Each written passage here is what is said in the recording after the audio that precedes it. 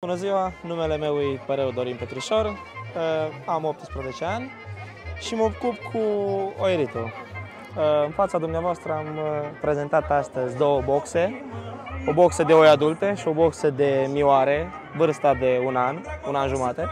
Rasa noastră vrea să fie omologată, vrea să fie adusă prin fruntea raselor de ovine și noi, tinerii crescători și cei de leatul celălalt, am vrea să promovăm mai mult țurcana brează.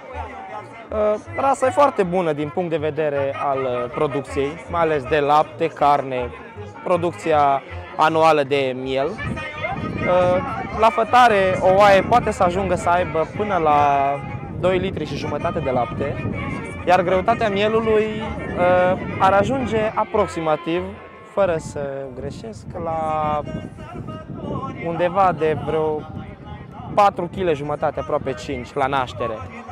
Și acesta are un avantaj foarte mare pentru că vine perioada tăiatului, perioada Paștelui și o să aibă un avantaj foarte mare la kilogram. Și prețul destul de bun. Și ce îmi place mie foarte mult la rasa asta e o rasă de oi masive.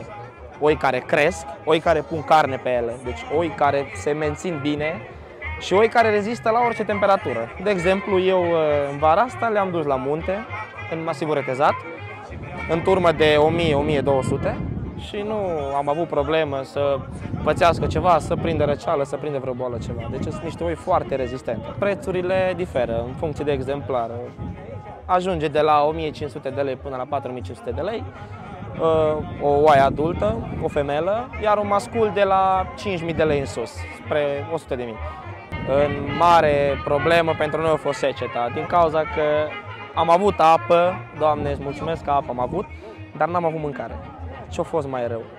Dar acum, după cum am văzut și noi și cum e pentru toată lumea viața de zi cu zi, avem uh, iarbă, pentru că a plouat foarte bine acum pe toamnă, ori dat ierburile din nou, apă este și după cum se văd și oițele, se prezintă destul de bine, chiar după seceta mare de fost. N-am putut să-mi termin de cosit toate locurile unde voiam să fac uh, furaje, iar uh, porumbul e destul de slab, pentru că, nu, tot din cauza secetei, ban mai multe zone au fost multă ploaie și s-au adunat, s-au acumulat foarte multă apă și le-a stricat creșterea, ori în multe zone nu a plouat deloc și nu au mai apucat să mai crească. Și aia e puțin un dezavantaj destul de mare, pentru că atât timp cât furajele nu îs, nu le avem, nu putem nici să le cumpărăm pentru că prețurile deja au crescut destul de mult, pentru că prețul unui balot de lucern ajunge până la 25 de lei, uh, kilogramul de porumb e 2 lei, 2 lei 50, puțini oameni mai dau cu un leu 80 kilogramul și destul de scump și pentru noi e destul de greu.